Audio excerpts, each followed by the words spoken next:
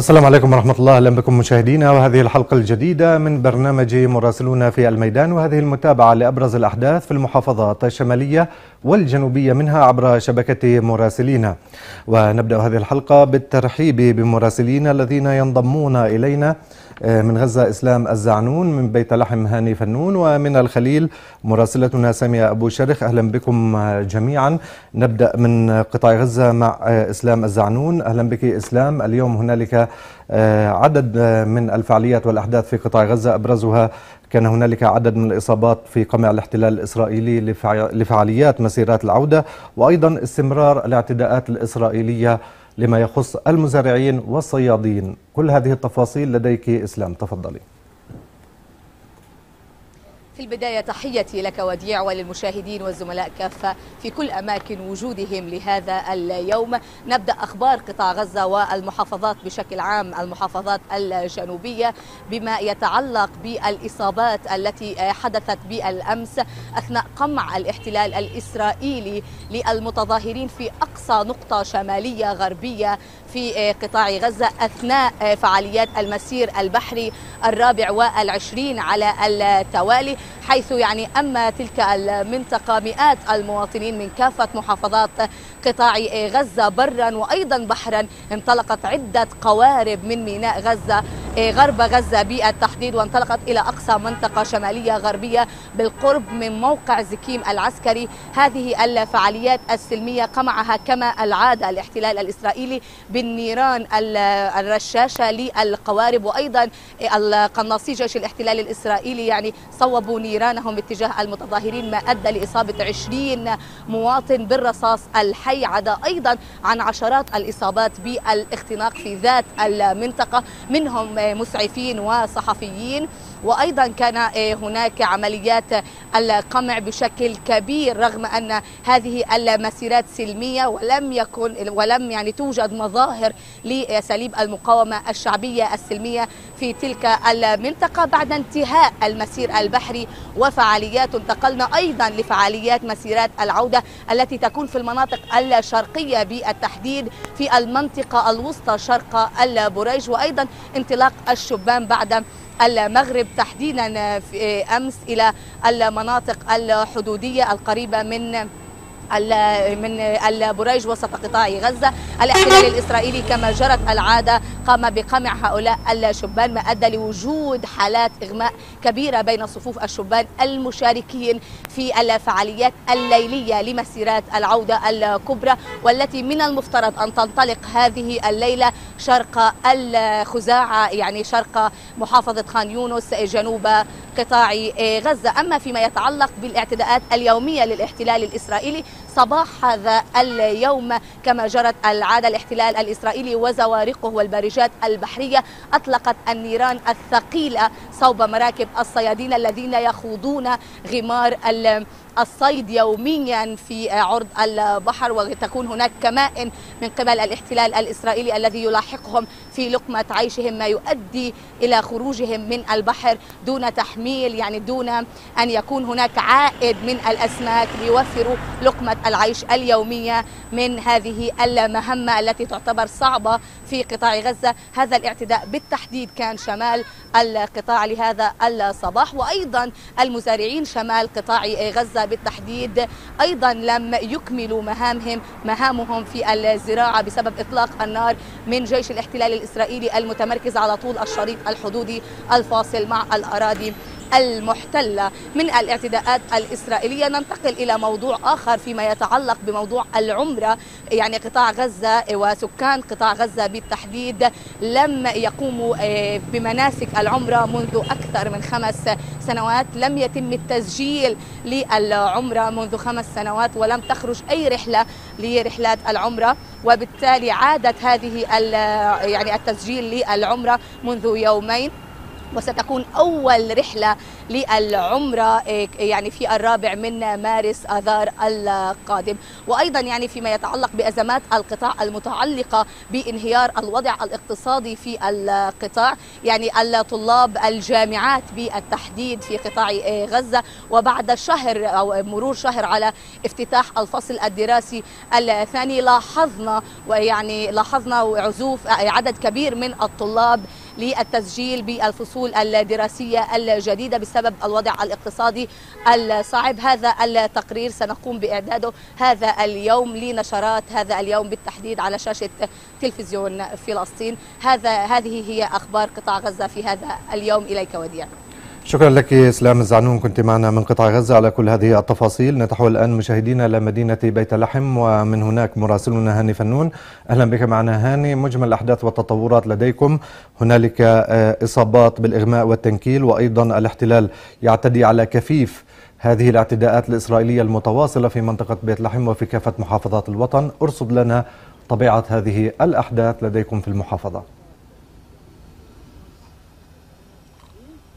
أهلا ومرحبا بك وديع بجميع مشاهدي برنامج مراسلون في الميدان. حقيقة يعني الاحتلال يواصل إجراءاته وممارساته العنجهية بحق أبناء شعبنا. تنوعت هذه الإجراءات. صبيحة هذا اليوم اعتقل شابين من مدينة الدوحة غرب بيت لحم وهم فادي نزار حلاوة 20 عاما ومحمد جميل أبو سرحان 18 عاما. أيضا يعني وفي ذات المدينة الاحتلال اقتحم منزل الشاب المريض بالكلى وأيضا الكفيف وهو منذر طلال مزهر حيث تعامل معه بطريقة وحشية واعتدى عليه بطريقة وحشية في داخل منزله وأثناء اقتحام بشكل مكثف من جنود الاحتلال للمنزل مع ترهيب وترويع القاطنين فيه. كما ذكرت اعتدى على هذا الشاب الكفيف وهو مريض بالكلى وبحاجة إلى غسيل بشكل يومي نتيجة تردي حالته الصحية. أيضا الاحتلال يعني وأثناء حدوث مواجهات في المدينة وأثناء اقتحامه قام بإطلاق قنابل غاز وصوت أدت إلى إحراق مركبة تعود للمواطن ماجد أبو عودة وهذا يعني أجهز على هذه المركبة نتيجة لإطلاقه المكثف لقنابل الغاز. وصوت وأيضا يعني ناهيك عن إصابات بالاختناق بين صفوف المواطنين وفي ساعات الفجر الأولى التي يعني جرى فيها الاقتحام للمدينة. أيضا يعني مأساة ومعاناة وسياسة الإذلال والتنكيل في الحاجز الشمالي المقام على يعني المنطقة الشمالية في مدينة بيت لحم لا تتوقف في الآونة الأخيرة بتنا. نشهد يعني عن تضييق أكثر يعني. لا نتحدث أن هناك لم تكن إجراءات وممارسات وتضييقات في السابق هي كانت ولكن ازدادت وتفاقمت معاناة العمال والإذلال الاحتلالي الذي يقوم به العمال وديع دعني أشير إلى أن يعني هذه الإجراءات يمهد من خلالها الاحتلال أنه يعني وكما علمنا سيقوم بعد عدة أيام بافتتاح أقسام جديدة لهذا المعبر وهذا الحاجز وكما يعني يقوم الاحتلال بالترويج إعلاميا بأنه يقوم بتسهيلات للعمال من خلال المعابر. هو يقوم بالتضييق أكثر فأكثر حتى يخرج لنا بصورة إعلامية بعد أيام ويقول لنا أن قمنا بإجراء ترتيبات وتسهيلات للعمال في الحواجز. وهذه صورة وحشية يعني يقوم بها الاحتلال وحتى أنه لو قام بوابات جديدة ومفارق جديدة ومداخل جديدة لهذا المعبر ونقاط التفتيش الأخرى هو يمارس سياسة إذلال ويفاقم من معاناة العمال الذين يدخلون إلى هذه من خلال هذا المعبر ومن خلال هذا الحاجز الاحتلالي إلى أراضي القدس المحتلة وأراضي 48 هو يواصل هذه السياسة ولكن ويحاول يعني تغيير الصورة الحقيقية عن عنجهيته ووحشيته وإجراءاته وممارساته بحق العمال. كما يعني أذكر أن الاحتلال ينوي فتح مسارب جديدة وبوابات جديدة لمعبر ما يسمى ب 300 والواقع في شمال مدينة بيت لحم وهو يقوم بإجراءات هذه حتى يلمع من صورته الجشعة والبشعة التي يعني ينتهك فيها حقوق العمال وينتهك فيها يعني أيضا نسمع عن أمراض ما بين العمال وأمراض مزمنة وأيضا حالات إغماء وتنكيل بشكل يومي نتيجة لهذه الإجراءات.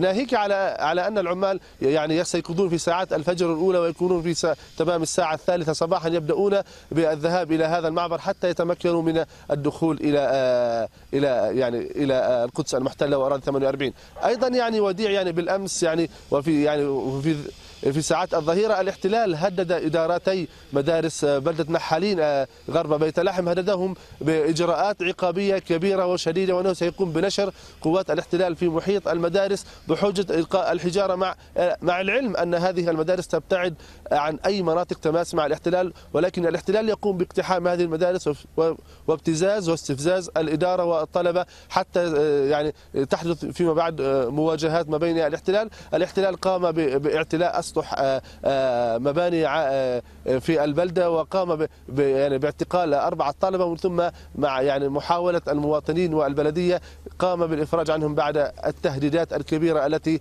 يعني أطلقها بحق البلدة وتوعد بمجزرة في البلدة نتيجة وحصار البلدة نتيجة لما يسميه بإلقاء الحجارة. لكن في الواقع الاحتلال هو من يروج العنف وهو من يبتز الطلبة ويبتز الأهالي من خلال إطلاق قنابل الغاز والصوت باتجاه مجمع المدارس في البلدة. وهنا وديع يعني أنا في الموقع الذي أتحدث فيه أنا الآن في أراضي قرية حسان غرب بيت لحم وهي كما ترون يعني في عمق ومستوطنة بتار عليت نحن نتحدث عن على يسار الصورة منطقة بتار عليت تسمى بالقسم باء وأيضا على يمين الصورة القسم ألف الذي يبني الاحتلال كما تشاهدون يعني يقوم ببناء استيطاني جديد. لكن في الوسط هذه الأراضي التي نشاهدها في وسط هذا التجمع الاستيطاني والتمدد الاستيطاني في هذه المنطقة تسمى أراضي قرية حسان بألكنيسة. هذه الأراضي التي يحاول الاحتلال ويمهد لالتهامها قبل عام قام بإغلاق الطريق هذه التي نحن نتواجد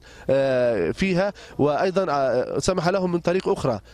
قبل أيام أغلق هذا الطريق وقال لهم بإمكانكم الدخول من خلال طرق يعني بديلة أو من خلال فتوحات في هذا الشيك.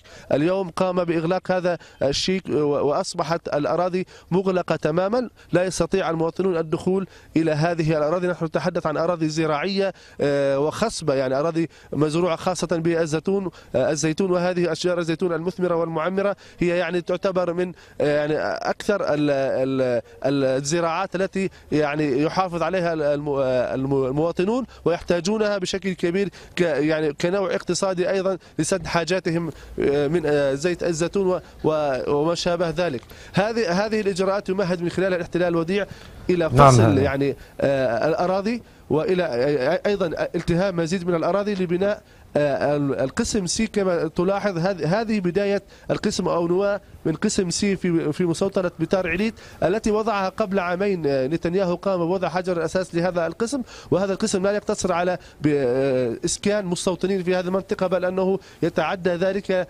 لبناء منطقة صناعية كبيرة. هنا أيضا تفصل منطقة أو قرية وادي فوكين عن أيضا عن عن امتدادها وعن محافظة مدينة بيت لحم نتيجة لهذا التمدد الاستيطاني الكبير. نحن نشاهد بعد هذا البرج هناك مستوطنة تسمى بسور هداسة هذه هذه المستوطنة تقع في حدود الخط الأخضر. أقامها الاحتلال وبدأ وبدأ يتمدد على أراضي قرية واد فوكين نتيجة يعني لعزمه ربط هذه المستوطنات مع بعضها على شكل حزام استيطاني وهو ما يسمى عند الاحتلال بمشروع القدس الكبرى.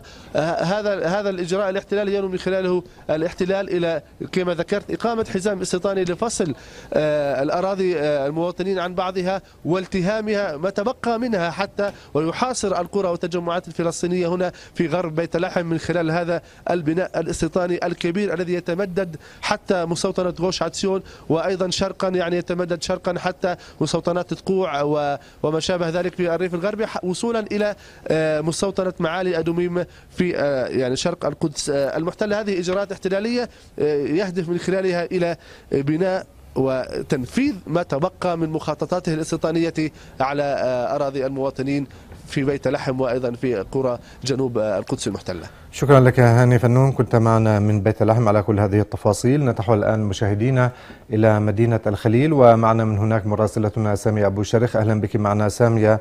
اليوم قوات الاحتلال تعتقل ثمانية مواطنين من محافظة الخليل وأيضا هنالك توزيع لمائة كرسي ضمن حملة تراحموا لذوي الإعاقة في المحافظة. كل هذه التفاصيل لديكم. نعم.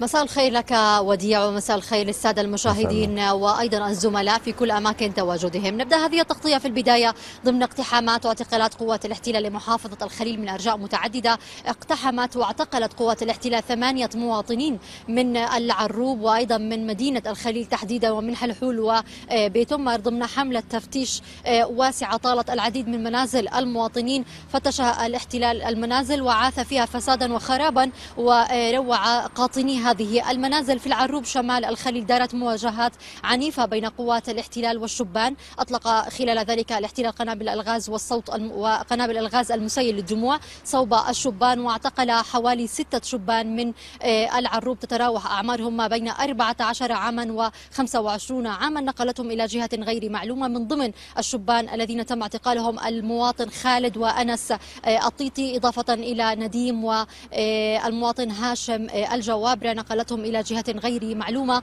إلى ذلك أيضا سلمت المواطن حسين الجوابرة بلاغ لمقابلة مخابرات الاحتلال في معسكر عصيون الاحتلالي. أيضا نتابع ضمن الأخبار وضمن الاعتقالات. أيضا اقتحمت قوات الاحتلال حلحول شمال الخليل واعتقلت المواطن معين والذي يبلغ من العمر 20 عاما. إلى ذلك أيضا اعتقلت المواطن حاتم الصبارنة وهو من بيت أمر شمال الخليل وأثناء مروره عبر حاجز الكونتينر جنوب مدينة القدس المحتلة. نتابع أيضا ضمن اقتحامات الاحتلال استمر بها في مدينة الخليل وضمن عدة أحياء مختلفة فتش منازل المواطنين عاث فيها فسادا وخرابا ويعني اقتحم منزل الأسير المحرر فايز مسك وقام بسرقة الأموال الموجودة في داخل هذا المنزل. نصبت قوات الاحتلال حواجز متعددة في أحياء متفرقة من مدينة الخليل. من ضمن هذه الحواجز على مدخل حلحول وسعير أيضا نصبت حواجز مختلفة في قرى غرب دورة وأعاق من حركة المواطنين والسير فيها. نتابع أيضا في ضمن أخبار محافظة الخليل وضمن الفعاليات حملة تراحموا هذه هي الحملة التي تستهدف الأشخاص ذوي الإعاقة من خلال تقديم كراسي متحركة للأشخاص ذوي الإعاقة لتسهيل الحركة عليهم بالتعاون مع محافظ محافظة الخليل وأيضا المؤسسات المجتمع المدني. اليوم في ساعات هذا الصباح وصل لنا الرقم هو 100 كرسي متحرك وفي هذه اللحظات وصل إلى 300 350 كرسي متحرك سيتم توزيعها بعد ساعات الظهيرة على الأشخاص ذوي الإعاقة لتصل الحملة إلى حوالي ألف كرسي متحرك. نتابع أيضا ضمن الأخبار لقي شاب من مدينة الخليل وهو يتواجد في هذه اللحظات في قسم العناية المركزة في مستشفيات الخليل. أصاب أصيب بإصابة بليغة نتيجة سقوط ألواح من الزجاج عليه. إذا وديع كانت هذه مجمل الأخبار من محافظة الخليل وإليك في الاستوديو. شكرا لك مراسلتنا من الخليل. سامية أبو شرخ على كل هذه التفاصيل. نتحول الآن مشاهدينا إلى العاصمة المحتلة القدس. ومعنا مراسلتنا كريستين الريناوي أهلا بك معنا كريستين. الأجواء لديكم في القدس. وبعد حالة التوتر الشديدة في الأمس وأيضا اليوم هنالك عرض لعدد من الشبان على محكمة الاحتلال في المدينة المحتلة.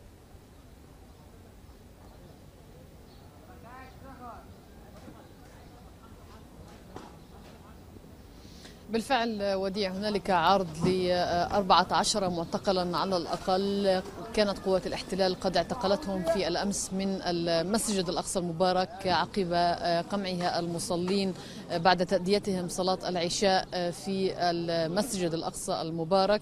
وبالتالي 14 معتقلا على الأقل سوف يعرضون وحوالي ست معتقلين من المتوقع أن يفرج عنهم بشروط حتى اللحظة لم يتم الإفصاح عنها ولكن متوقع بأن تكون الشروط الإبعاد عن المسجد الأقصى المبارك على غرار المعتقلين في الأيام الماضية. وديع نتحدث عن 32 معتقلا اعتقلتهم قوات الاحتلال خلال اليومين الماضيين فقط منذ بدء أزمة أو معركة باب الرحمة في المسجد الأقصى المبارك قبل قليل أدى المواطنون صلاة الظهر في محيط مبنى باب الرحمة. أذكر المشاهدين على أن الأزمة أصلا افتعلها الاحتلال بوضعه بسلاسل وأقفال حديدية على البوابة الخارجية لمبنى باب الرحمة. منذ ذلك الوقت والمواطنون يؤدون الصلوات في مواقيتها في محيط هذا الباب. الآن المطالبات ليس فقط إزالة الأقفال وإنما فتح هذا المبنى المغلق منذ العام 2003 بقرار من مفتش شرطة الاحتلال العام بادعاء أن هذا المبنى كان مقرا للجنة التراث التي يصفها الاحتلال بأنها لجنة إرهابية. بطبيعة الحال هذا الادعاء يفنده المواطنون والأوقاف. وبالتالي نحن نتابع مجريات الأحداث في العاصمة المحتلة. الاعتقالات أكثر من 22 معتقلا 14 معتقلا منهم كما ذكرت سوف يعرضون على محكمة الصلح الإسرائيلية في القدس المحتلة. البقية متوقع الإفراج عنهم. كان هنالك عدد من الإصابات في معظمها بالردود بفعل الاعتداء على المصلين. إصابة واحدة كانت لناصر قوس مدير نادي الأسير في القدس وأمين سر حركة فتح في البلدة القديمة. حول إلى مستشفى المقاصد للعلاج. خرج من المستشفى وكانت إصابته بمنطقة الرأس. تم ضربه بأعقاب البندقية. على صعيد بوابات المسجد الأقصى المبارك هنالك تحرير ببطاقات الهويات. أحيانا يمنع المصلون من الدخول إلا بعد تسليم بطاقات هويتهم هذه صورة الأوضاع في العاصمة المحتلة التي نسلط الضوء عليها في التقرير الذي نعده لنشرة الأخبار وديع. شكرا لك مراسلتنا من القدس المحتلة العاصمة كريستينا الريناوي على كل هذه التفاصيل. ومع كريستينا الريناوي مشاهدينا نصل إلى نهاية حلقتنا لهذا اليوم من برنامج مراسلنا في الميدان. شكرا لكم على المتابعة. دائما وأبدا بأمان الله.